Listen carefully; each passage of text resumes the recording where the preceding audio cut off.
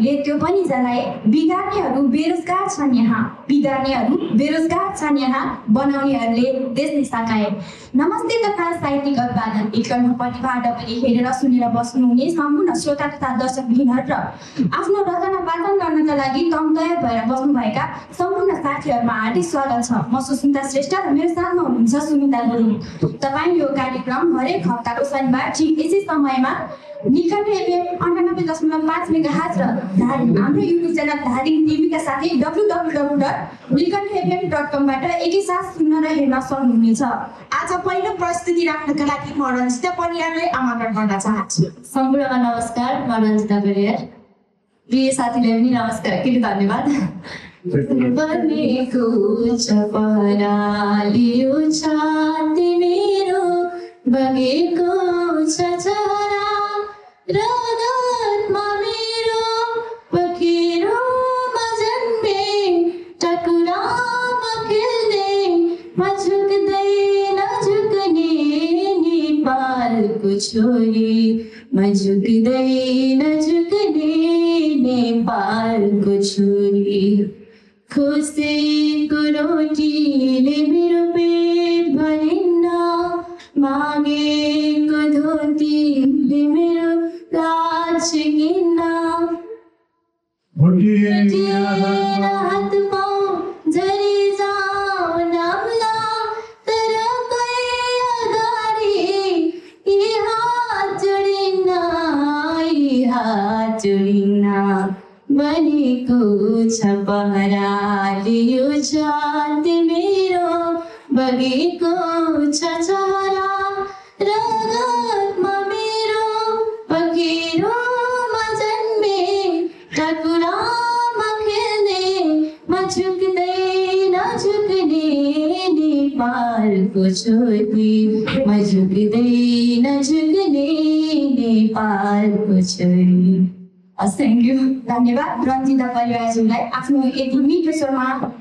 कविता सुनाएर गइसक्नु भएको छ अब भने म अर्को प्रतिभा प्रस्तुत गर्नका लागि सरिता श्रेष्ठज्यूलाई आमन्त्रित गर्न चाहन्छु यहाँ अ, उपस्थित सम्पूर्णमा मेरो नमस्कार मेरो नाम चाहिँ सरिता श्रेष्ठ। म चाहिँ बिएड सेकेन्ड इयरबाट म चाहिँ आज एउटा गीत गाउन गइरहेकी छु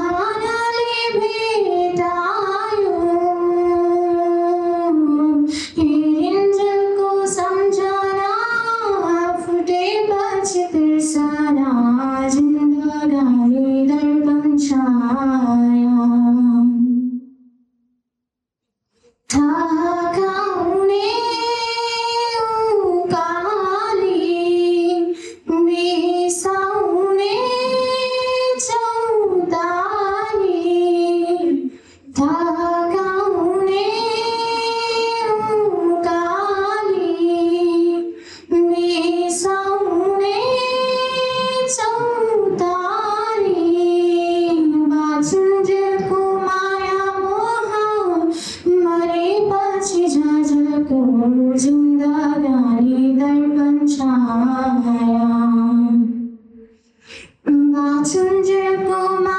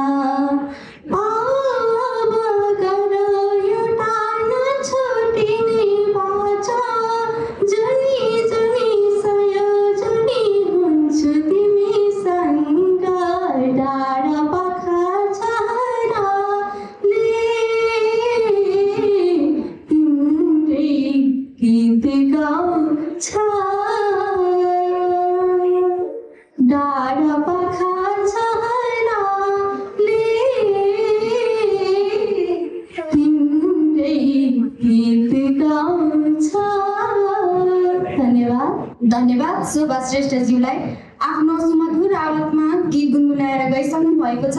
अब भने जोसेफ तामाङलाई आफ्नो प्रतिभा राख्नका लागि अनुरोध गर्दछु। सम्पूर्णलाई नमस्ते। मेरो नाम चाहिँ जोसेफ तामाङ जिन्दगी चल्न त चलेछ भिरमा छ। जिन्दगी चल्न त चलेछ भिरमा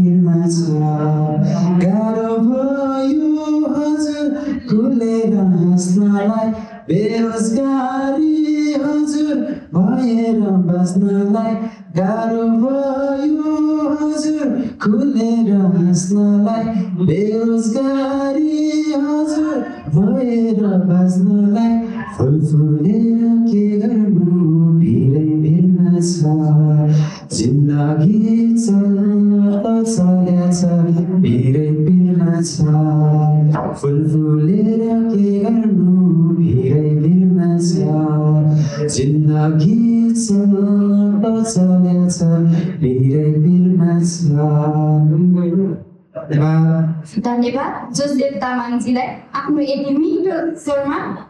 राम्रो गीत सुनाएर गइसक्नु भएको छ अब भने स्नेहा श्रेष्ठलाई आफ्नो प्रतिभा राखिदिनु हुन अनुरोध गर्दछु नाम स्नेहा श्रेष्ठ म बिबिएस फर्स्ट इयरबाट अब चाहिँ म एउटा सानो कविता भन्न गइरहेको छु अनि हाम्रो दुई लाइन चाहिँ एउटा दिदीले भन्नुभएको थियो यसलाई चाहिँ एउटा सानो आफ्नै कविता बनाउन गइरहेको थिएँ र बनाएर सुनाउनु गइरहेको छु आमा नामा दुई चार वर्ष एउटा घर टिकाउनु छ पहुँच नामा दुई चार वर्ष एउटा घर टिकाउनु छ। नपताउने छिमेकी आँखीलाई केही गरी देखाउनु छ।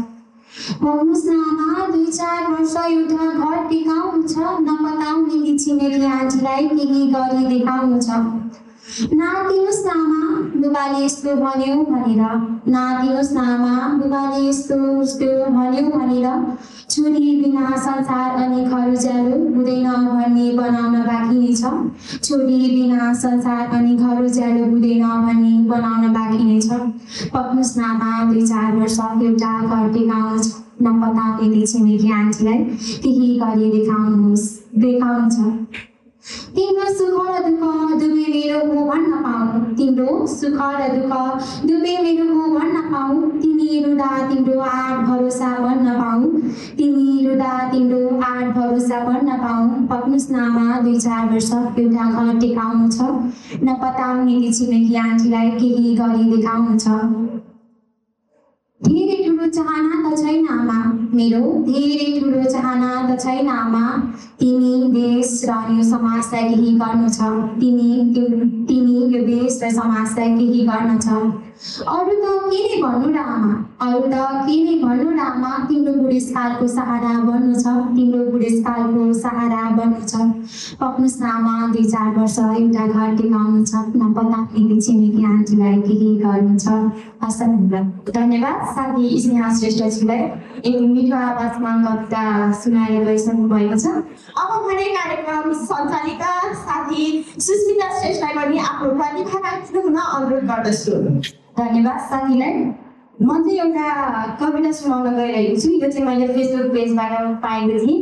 लेखक रहेको छ रमा पौडेल। कविता स्वीकार कविता यसरी सुरु हुन्छ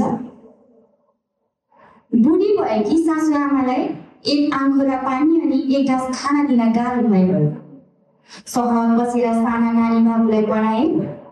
बुबा बा बुढा बाआमाको सेवा गर्नु धर्म हो त्यसपछि म शिक्षक बने। आमा जस्तै सासु बहिनी जस्तै नन्द भगवान् जस्ता श्रीमानसँग मिल्न सकिन घर छाडेर भने हामी सबै मिल्नुपर्छ। घर समाज अनि देश बनाउनुपर्छ। त्यसपछि म महिला नेत्री बने संविधानको किताब पल्टाएर महिला अधिकार पढेर सुनाए हामी महिला अन्यायमा छौँ।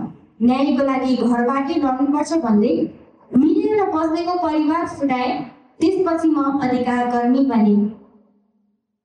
सोचेका लक्ष्यमा पुग्न सकिनँ। समाज सेवाको नारा लगाएँ सेवा नै धर्म हो। मरेर के नै लानु छ? अरूको दुःख र आँसुको व्यापार गरे नाम कमाए दाम कमाए महल बनाए त्यसपछि म समाजसेवी बने। यताको उता उताको यता सारे अघिको पछि पछिको अघि सारे दुःखलाई दुःखलाई सुख सुखलाई दुःख बनाए। सन्चोलाई बिरामी बिरामीलाई सन्चो बनाए घामलाई पानी पानीलाई घाम देखे जिउँदोलाई मुर्दा मुर्दालाई जिउँदे देखे अनि म कवि बने। धन्यवाद। अब भने आफ्नो गजल प्रस्तुत गर्नका लागि म सुनिला गुरुङलाई अनुरोध गर्दछु। धन्यवाद। सानलाई म पनि आज एउटा गजल पालन गर्न गइरहेको छु। यो गजल चाहिँ भुवन बैरिङ्गीले लेखेको छ। गजल चाहिँ यसरी सुरु हुन्छ सगरमाथा नदी नाला खोला फेवा ताल छ। बुद्ध जन्मेको देशमा शान्तिको अधिकार छ। चुनाव जितेपछि संविधान लेख्छु भन्थे खै। के भनौ र खै हाम्रो देशको आज बेहाल छ। रोजगार छैन स्वदेशमा सबै जनता विदेशतिर। के को चिन्ता विदेश पठाउन हजारौँ डलर छ। एउटा कुर्ची तानातान चल्या छ रे हाम्रो देशमा। विश्वले चिन्ने हाम्रो सानो देश नेपाल छ आफ्नै पैसाले हामी आफै बेचिएका छौँ साथी हाम्रो अघि नुन छैन उनको अघि सुनको थाल छ सगरमाथा नदी नाला खुला फेवा ताल छ बुद्ध जन्मेको देशमा शान्तिको अधिकार छ धन्यवाद धन्यवाद सुमिता गुरुङलाई अब भने आफ्नो केही प्रतिभा प्रस्तुत गर्नका लागि म छाइन्जलमा हुने विरुद्धम दाजुलाई अनुरोध गर्दछु धन्यवाद कार्यक्रम सञ्चालिका दुई बहिनीहरूलाई र आज मलाई पनि यो मौका दिनुभएकोमा एकदम आभारी छु। एउटा सानो कविता सुनाउन चाहन्छु। मलाई मन्दिर मन पर्दैन। मलाई मन्दिर मन पर्दैन। म कुनै धर्मको विरुद्धमा बोलेको होइन या कसैको आत्मालाई नकारात्मक तुल्याउन खोजेको पनि होइन। तर मलाई मन्दिर मन पर्दैन मलाई मन्दिर मन पर्दैन जब म बलिया पिलरले बनेको मन्दिर देख्छु मलाई फर्किन लागेको गरिबको घर याद आउँछ जब म बलिया पिलरले बनेको मन्दिर देख्छु मलाई फर्किन लागेको गरिबको घर याद आउँछ जब नक्षत्र जस्तै चम्किने मन्दिरको बत्ती देख्छु मलाई तराईको झुपडीमा कहिले आउँदै कहिले जाँदै झिमिक झिमिक झिमिक गर्ने बत्तीको याद आउँछ मलाई मन्दिर मन पर्दैन जब म मार्बलले सङ्गमरमर जस्तै भनेका मन्दिरहरू देख्छु जब म मार्बलले सङ्गमरमर जस्तै भनेका मन्दिरहरू देख्छु मलाई पप पप गर्दै पात्र गाउँको माटोले पोतिएको घर याद आउँछ मलाई मन्दिर मन पर्दैन के ईश्वर यति स्वार्थी छन् के आफ्नै सिर्जनालाई खुसी देख्न सक्दैनन्? के ईश्वर यति स्वार्थी छन् कि आफ्नै सिर्जनालाई खुसी देख्न सक्दैनन्?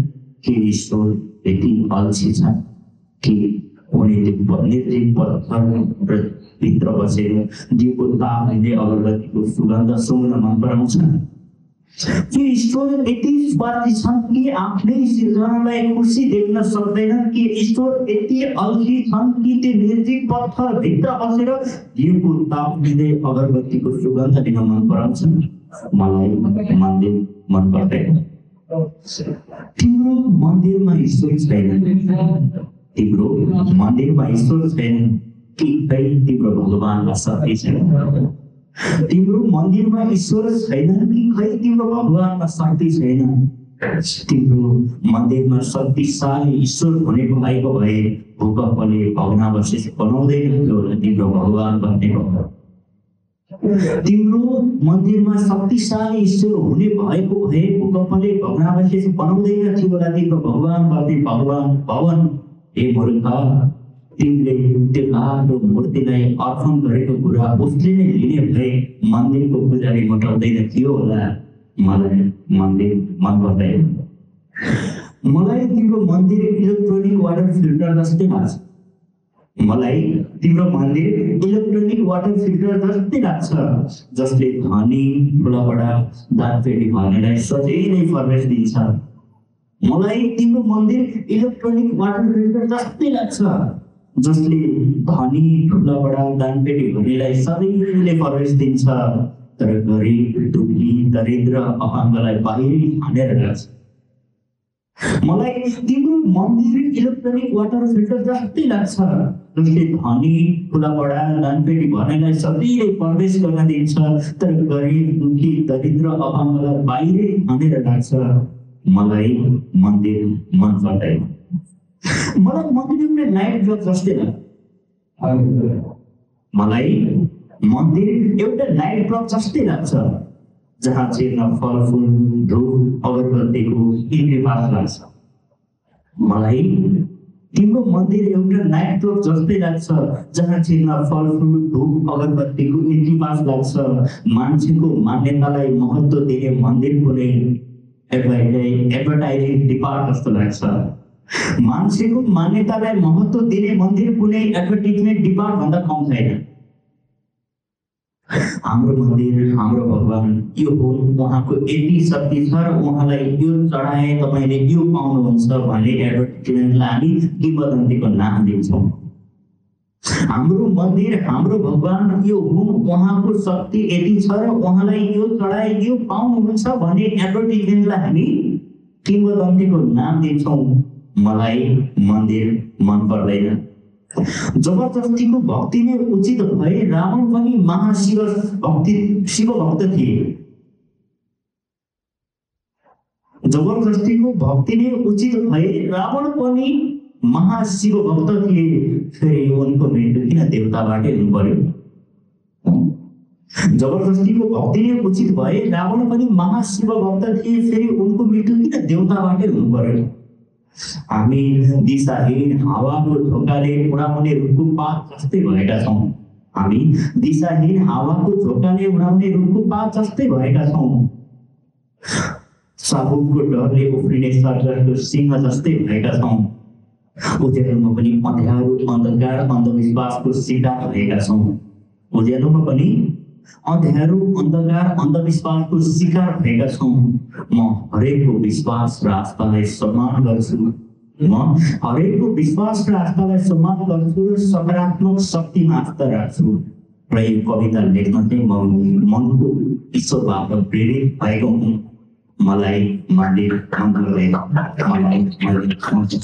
साँच्चीकै मलाई मन्दिर मन पर्दैन तर सबैको भक्ति मनपर्छ ईश्वर हामीले मन्दिरमा खोज्नु पर्दैन मन्दिरमा मन पराउनु पर्दैन।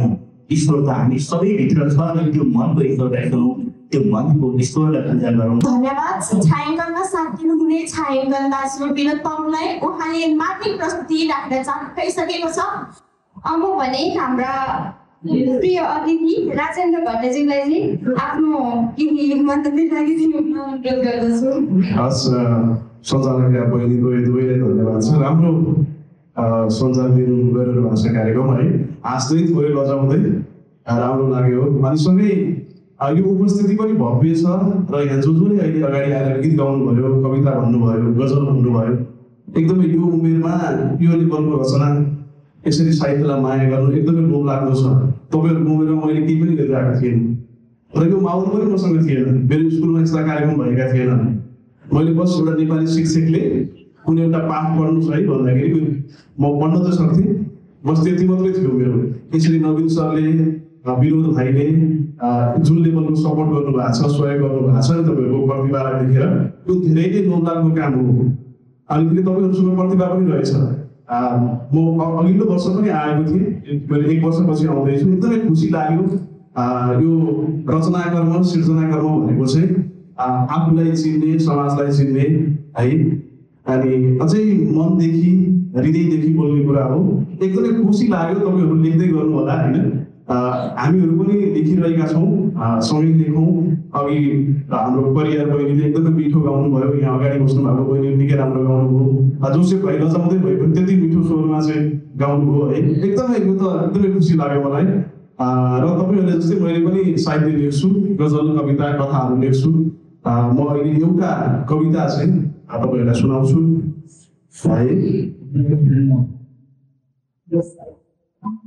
मेरो कविताको शीर्षक छ ओसेरी भन्ने यो चाहिँ यसरी सुरु हुन्छ ए मन माफिक मान्छे ए मन माफिक मान्छे खर्कका बिहानी पखका शीतहरू परेलीमा बटुल्नु ल्याइदिनु ए मन माफिक मान्छे खर्कका बिहानी पखका शीतहरू परेलीमा बटुल्नु ल्याइदिनु भुसुका सेता रङहरू अँगालोमा बेर्नु ल्याइदिनु।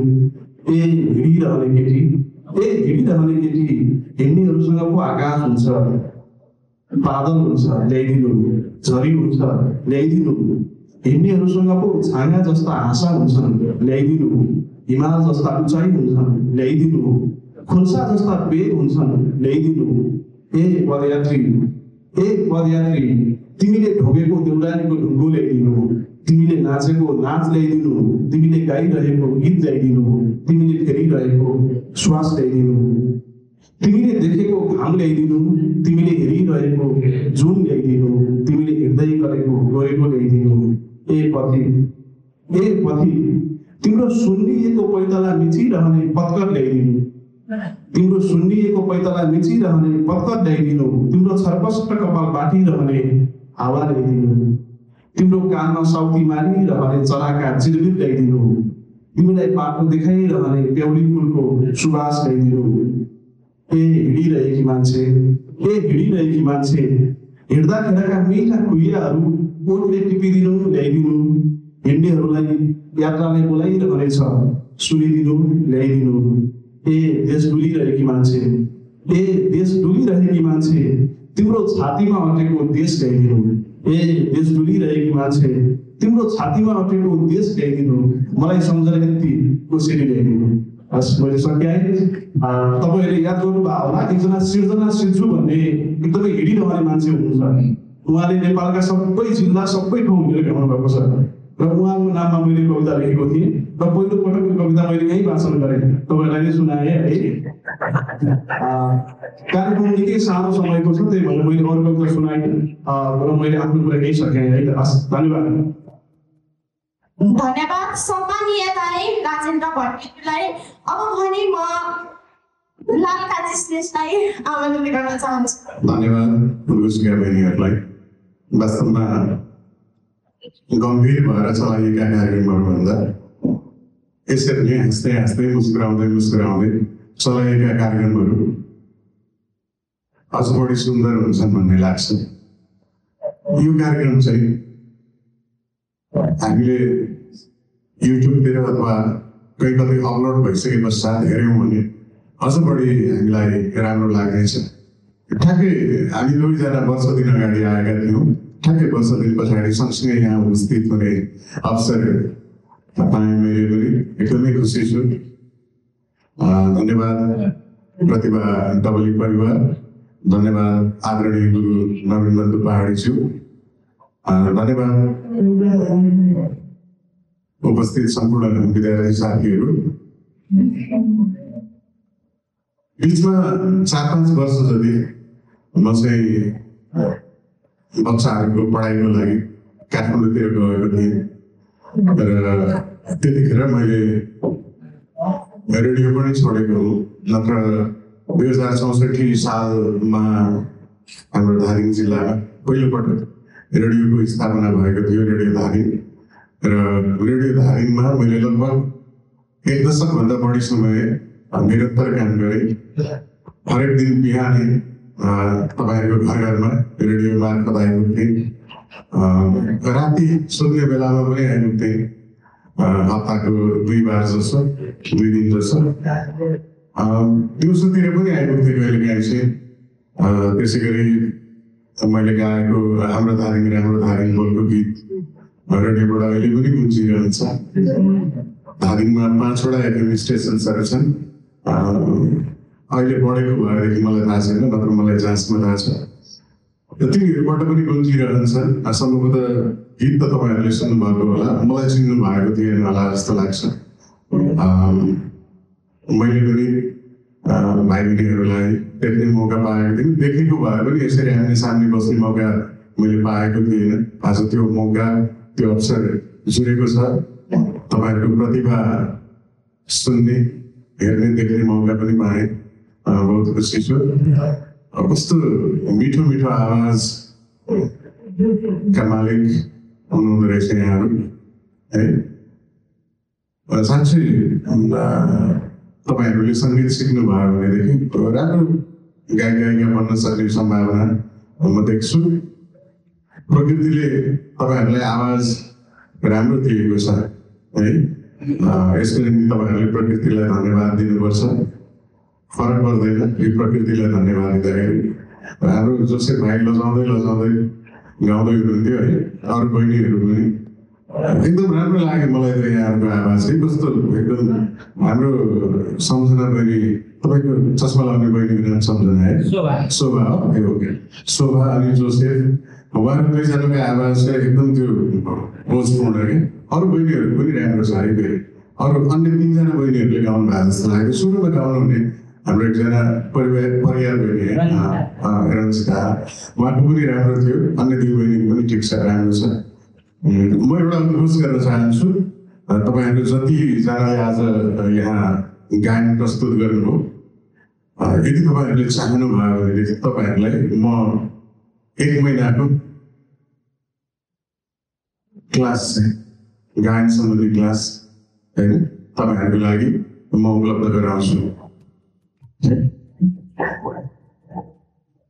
मेरो घर यही धार्मिक म्युजिकको बजार हो तपाईँहरू सबैकै लागि मैले बेग्ला बेग्लै समय उपलब्ध गराउन सक्दिनँ होला र कुनै एउटा समय तपाईँहरूले सुगाएर सिक्ने मन हुँदाखेरि हाम्रो नवीनबन्धु पहाडी सरलाई तपाईँहरूले अनुरोध गर्नुभयो भने म चाहिँ त्यसको निम्ति व्यवस्था मिलाउने कोसिस गर्नेछु है म चाहिँ तपाईँहरूलाई एउटा गजल सुनाउँछु है त गाएर सुनाउँछु भन्ने सोचिरहेको यहाँ हतपत्त गाउने गाएको गजल चाहिँ भेटिए जस्तो लागेन वाचन गरेर सुनाउँछु ल गजललाई चाहिँ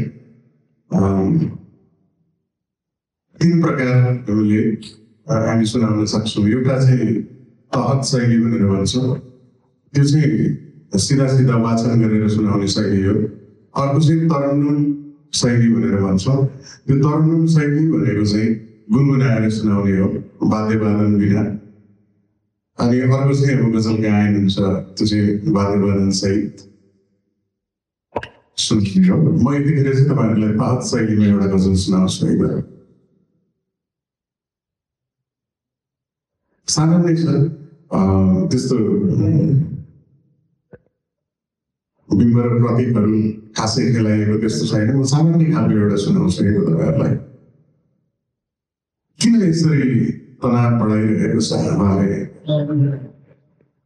किन यसरी तनाव बढाइरहेको छ हावाले किन यसरी तनाव बढाइरहेको छ हावाले तिम्रो सुवास तिम्रो सुवास कहाँ लगिरहेको छ हावाले किन यसरी किन यसरी तनाव बढाइरहेको छ हावाले किन यसरी तनाव बढाइरहेको छ हावाले तिम्रो सुवास कहाँ लगिरहेको छ हावाले कहिले कपाल कहिले कपाल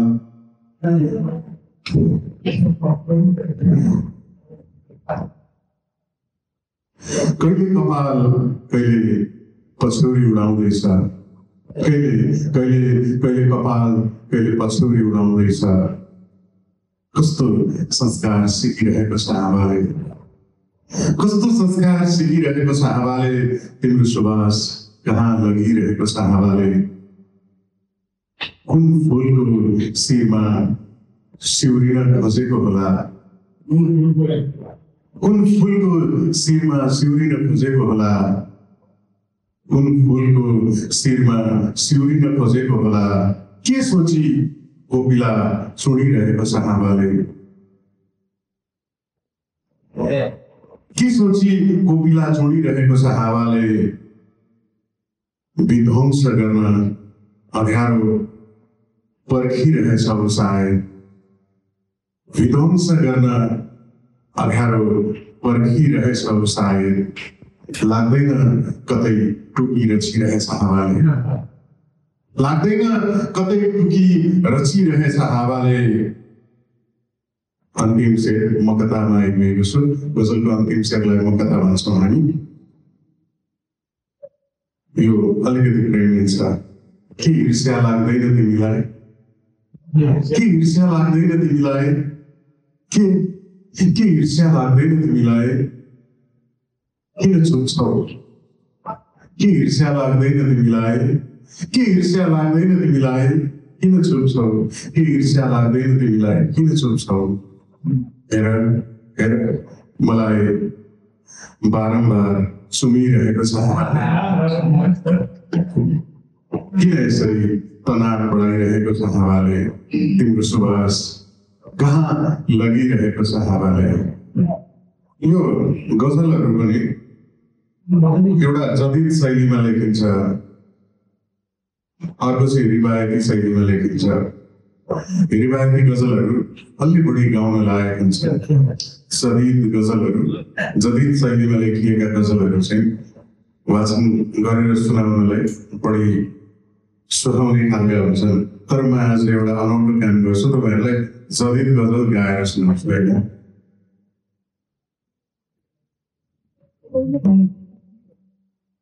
तिमीले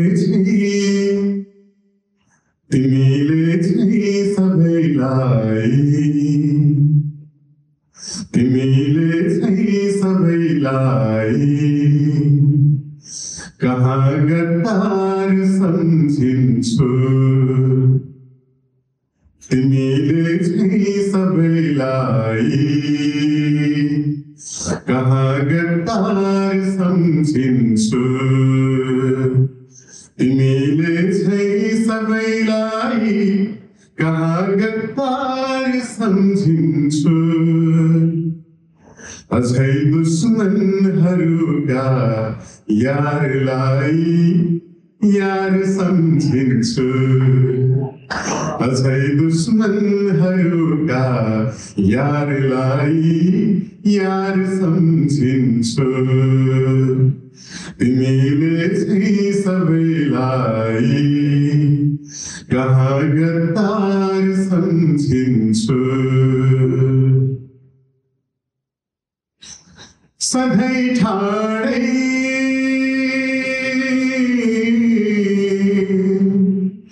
सधैँ ठाडै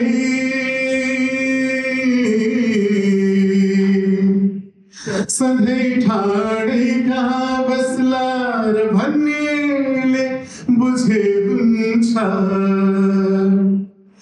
सधैँ ठाडै कहाँ बस्ला र भन्नेले बुझे हुन्छ म पहिरोलाई म पहिरोलाई आफ्नो पाउको आधार सम्झिन्छु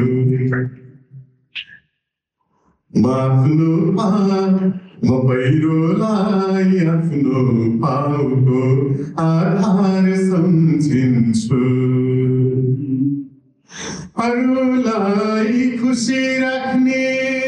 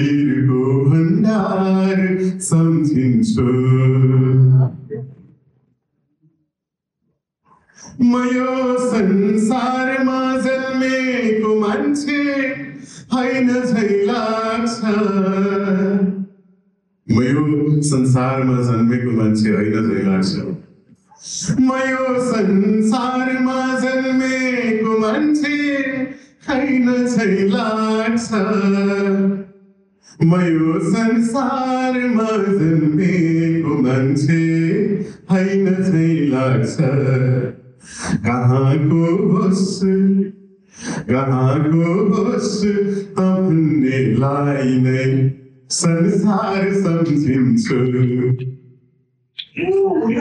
म यो संसारमा जन्मेको मान्छे होइन झै लाग्छ कहाँको होस् त भन्नेलाई नै संसार सम्झिन्छु अझै दुश्मनहरूका यारलाई यार सम्झिन्छु कहाँ सक्छौ मक्तामा आइपुगे कहाँ सक्छौ र सहजै ढल्न मेरो जिन्दगीलाई कहाँ सक्छौ र मेरो कहाँ सक्छौ र सहजै होइन कहाँ सक्छौ र सहजै ढाल्न मेरो जिन्दगीलाई कहाँ सक्छौ र सहजै ढाल्न मेरो जिन्दगीलाई कहाँ सक्छौ र सहजै ढाल्न मेरो जिन्दगीलाई माफुलाई म आफूलाई बहुमतको असल सरकार सम्झिन्छु तिमीले सबैलाई कहाँ गद्दार सम्झिन्छु अझै दुश्मनहरूका यारलाई यार सम्झिन्छु कहाँको होस् भन्नेलाई नै संसार सम्झिन्छु धन्यवाद धन्यवाद सम्मानीय अतिथि तथा साहित्य प्रेमी लाल काजी श्रेष्ठज्यूलाई यतिन्जेलसम्मका लागि हामीलाई हेरेर र सुनेर साथ दिनुहुने सम्पूर्ण दर्शकहीनहरूलाई पनि धन्यवाद भन्दै यस मञ्चबाट चाहिँ सुमिता गुरुङको साथमा म सुस्मिता श्रेष्ठ बिदा हुँदै हाम्रो गुरु डाक्टर नवीन बन्धु पहाडीज्यूलाई आफ्नो केही भनाइका साथमा कार्यक्रमको अन्त्य गरिदिनु हुन अनुरोध गर्दछु धन्यवाद कार्यक्रम सञ्चालिका बहिनीहरू र आजको एपिसोड खास बनेको छ किनभने हाम्रो अगाडि हाम्रो धादिङकै सुपुत्रद्वय लाभकाजी श्रेष्ठ र राजेन्द्र भट्ट राजु चल्लु प्रसाद भनेर लेख्नुहुन्छ। उहाँहरू हुनुहुन्छ र तपाईँहरूलाई धेरै सुझाव सल्लाह पनि दिनुभएको छ।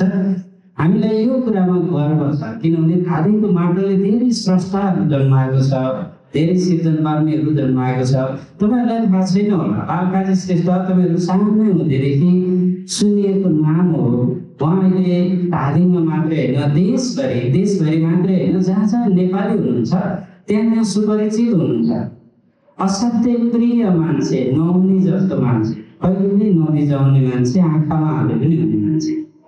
किन? किनभने उहाँले उहाँ सिङ्गैमा तपाईँहरू कति गजल भनेर लेख्नुहुन्छ होइन? गजलको सिङ्गो पाठशाला पनि हो। उहाँले गजलको कार्यक्रमहरू अनलाइनमा पनि चलाउनुहुन्छ सिकाउनुहुन्छ। गजल मात्रै होइन गीत। उहाँको सुमधुर स्वरमा गीतहरू थुप्रै रेकर्ड पनि भएका छन्। आफ्नै घर एउटा साङ्गीतिक पाठशाला बनाउनु भएको छ जहाँ स्टुडियो पनि छ तपाईँहरू गएर गीत रेकर्ड गर्न पनि सक्नुहुन्छ अनि सिक्न पनि सक्नुहुन्छ। यदि सिङ्गो पाठशाला तपाईँहरूकै अगाडि हुनुहुन्छ अनि तपाईँहरूलाई गीत सङ्गीत गजलको लाइनमा लाग्नको लागि एउटा सिङ्गो विश्वविद्यालय हुन्छ हाम्रो अगाडि। आज बिहान भयो भने तपाईँहरूको साथमा रहनुभयो। तपाईँहरूलाई म समय दिनुहोस् सिकाउँछु पनि भन्नुभयो। थाहा छ गायक बन्न गजलकार बन्न लेख्ने मान्छे बन्नको लागि कति धेरै सङ्घर्ष गर्नुपर्छ। संसारलाई नेपाली भाषीहरू संसारलाई गजल सिकाइराख्नु भएको छ पढाइराख्नु भएको छ।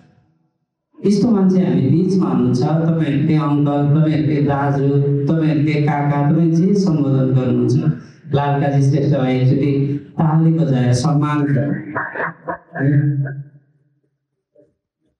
र तपाईँहरूले सिक्ने रहर छ भने यो उमेर सिक्ने उमेर हो। उहाँहरूसँग उहाँसँग समलाप गर्न सङ्गत गर्न हामी पछाडि नपरौँ यो अवसर हो। है? यो भन्दै राजु झलु प्रसाद। स्थापित कवि हुनुहुन्। लेखक हुन् कवि हुन् फिचर लेख्छन् धेरै समीक्षा लेख्छन्। शब्दहरूको बडा सुन्दर तरिकाले खेलाउँछन्। है हाम्रै मैलीमा जन्मेका धादिङकै माटोका लेखक हुन् हाम्रै दाजुभाइ हुन्।